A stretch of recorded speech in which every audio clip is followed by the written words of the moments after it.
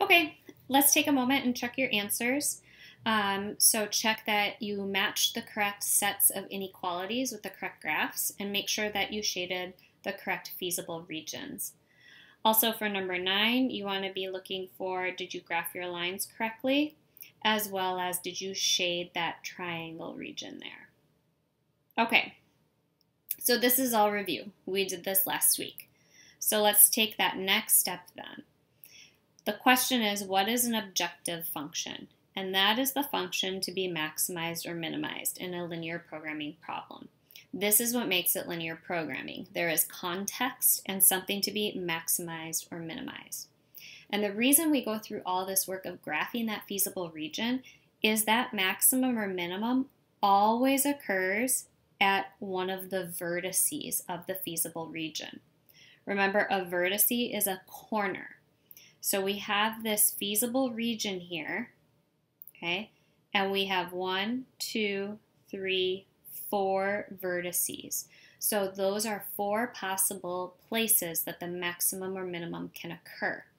The maximum or minimum are not going to occur at any of these points inside of the feasible region. So rather than having to test all of those options, we know that we've narrowed it down to it's one of these four. That's why it's worth the time and the effort. Okay, we're going to try a couple together, and then I'll have you try one on your own. Here's our first example. Yum's Bakery bakes two breads, A and B. One batch of A uses 5 pounds of oats and 3 pounds of flour. One batch of B uses 2 pounds of oats and 3 pounds of flour. The company has 180 pounds of oats and 135 pounds of flour available. Write the constraints for the problem and graph the feasible region. Well, remember, constraints are inequalities. So we'll do a couple things to get started. Um, we have two breads, A and B. We want to define our variables. I'm going to define A as X and B as Y. Now, if I wanted to, I could keep using those in my equations or my inequalities, but at some point I am going to have to put this on a graph. So that's why I like to define my x and y to refer to my x and y axis. All right, sounds like the company is limited by oats and it's limited by flour. So those are our inequalities, okay? Those are our constraints. So let's start with oats.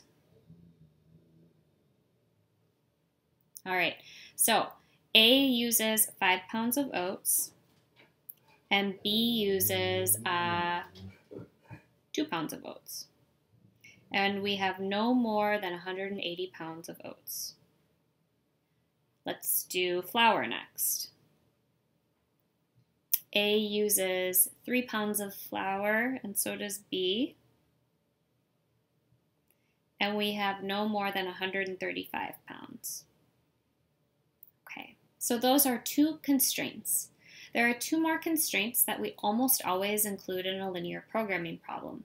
Those constraints are x is greater than or equal to 0 and y is greater than or equal to 0. The reason we include those is because we need to recognize that this is a real life situation and we can't have a negative number of oats and flour. All right, we have our four constraints. Let's go ahead and graph them. I'm going to use Desmos. So I already have my graph in Desmos. You can see my solution region is bounded by these points 0, 45, 30, 15, 36, 0, and 0, 0. So to stay organized with these, um, I'm going to put them into a table okay? Because I don't want to always have to flip back and forth. So 0, 45, 30, 15.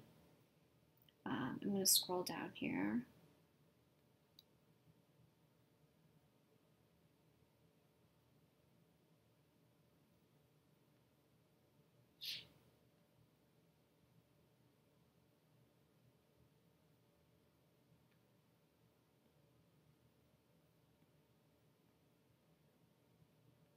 Uh-oh, my iPad is freezing on me. I can see it and you cannot.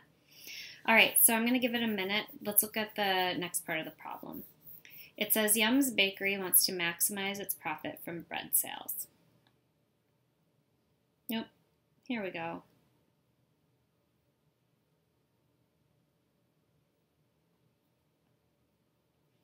Okay. One batch of A yields a profit of $40. One batch of B yields a profit of $30. Use the profit information and our work from above to find how many batches. Okay, so let's write a function for that. Um, so P I'm going to use to stand for profit. We make $40 on a batch of A. Remember A, I'm using X. And we make $30 on a batch of B. Okay, so that's my function. Now, I know that that function is going to be maximized at one of these vertices. Okay, so my vertices were again 0, 45, 30, 15.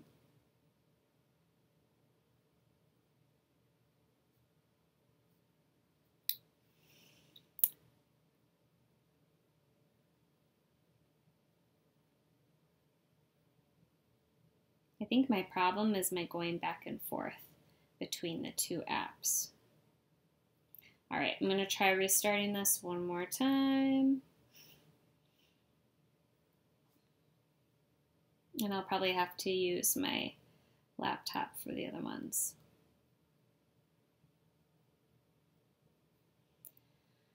Oh gosh.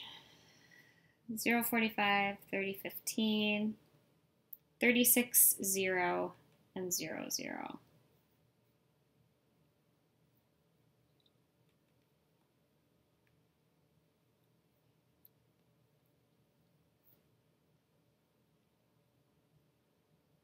Okay. So now what we're going to do is we are going to substitute these values of x and y into our objective function. Okay, so 40 times 0 plus 30 times 45 equals, I'm going to grab my handy dandy TI-84 here, 30 times 45, 1350. Seems like a good profit. Let's see if they can make more. This time 40 times 30 plus 30 times 15. Okay, let's put that one in. 40 times 30 plus 30 times 15. 1650. Oh, higher profit yet. Last one. This time we're going to put in the point 360. So 40 times 36, 1440. Now, I have one more point to test. It's 0, 0. I know that's going to give me a profit of zero. If I do zero work, I earn zero money. All right, so we're done just about here, okay? Which one it gives us that maximum value? It's 3015. So that tells us that the bakery should bake 30 batches of A and 15 batches of B. Okay, I know there were a lot of steps there, so let's go and do one more together, and then I'm going to have you try one on your own. Okay, here's our second example. Jillian is planning a green roof that will cover up to 600 square feet. She will use two types of plants, Blue Lagoon sedum and Raspberry Red sedum. Each Blue Lagoon sedum will cover 1.2 square feet. Each, ras each Raspberry Red sedum will cover 2 square feet. Each plant costs 250 and Julian must spend less than $1,000. Write the constraints and graph the feasible region. Okay, so we've got these two plants we're working with, blue and red. So I labeled them um, that blue would be on my x-axis and red would be on my y. Um, so first thing that we have is square footage. Okay, so we've got the Blue Lagoon one, which is my x, covers 1.2 square feet. Plus we have the red raspberry one, which covers 2 square feet.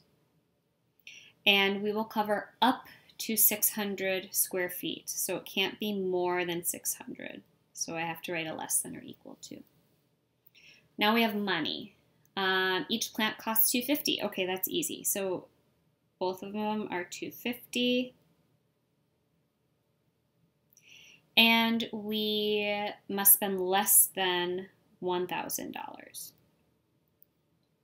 All right, and then don't forget those last two constraints. This is a real life situation. We cannot have a negative number of plants. So we need to recognize that they have to be, um, the number of plants has to be greater than or equal to zero.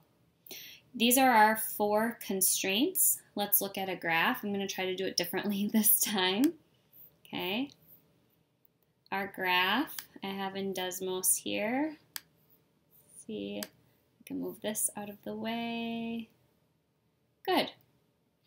Okay, I have my one, two, three, four vertices labeled.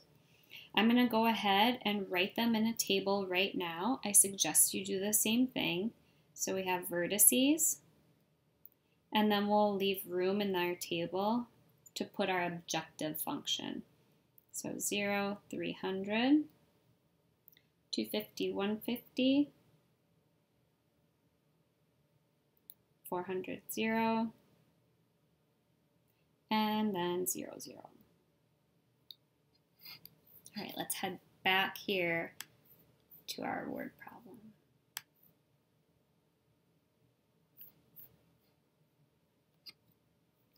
Okay. So, let's finish reading. Jillian wants her green roof to help control air pollution by absorbing carbon dioxide. Each Blue Lagoon sedum plant will absorb 1.4 pounds of CO2 per, per year, and each raspberry lagoon sedum plant will absorb 2.1 pounds per year. Find the number of each type of plant in order to maximize her carbon dioxide absorption. So we want to maximize carbon dioxide absorption. Um, so I'm going to write an equation. I'm going to use M for maximum. So the maximum is going to be um, the blue one is 1.4 plus, um, 2.1 for the red. All right, let's go ahead and put our vertices into this function.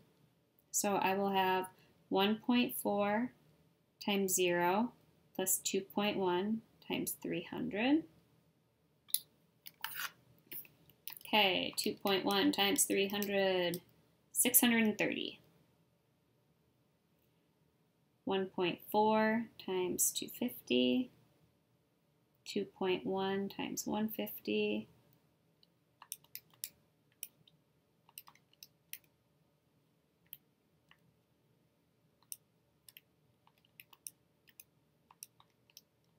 Six sixty five, that's better. 1.4 times 400 plus 2.1 times 0